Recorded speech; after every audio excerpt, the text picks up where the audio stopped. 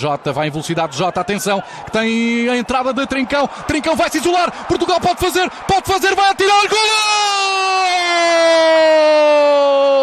É de Portugal!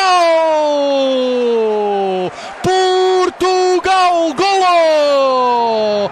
Sete minutos da primeira parte e Trincão mete a bola lá dentro depois de uma transição extraordinária, condução de bola e a desmarcação de Trincão nas costas da defesa a fazer 1 a 0. Repare-se na repetição, Rui, como Portugal vem ganhar a bola com Rafael Leão, a bola vem até Jota, Jota consegue ficar com a posse e depois descobre Trincão e a partir daqui não há nada a fazer. Grande golo, grande contra-ataque de Portugal para 1 a 0. Como tínhamos lançado no início da, da, partida, tínhamos falado disto. Um dos problemas da seleção da Coreia é o momento de transição defensiva, nomeadamente no controle da profundidade e na definição da última linha. Jota muito inteligente a fazer a condução para o corredor central e no momento certo a buscar a desmarcação de Trincão nas costas da defensiva da Coreia do Sul e Trincão com muita serenidade a marcar o primeiro gol.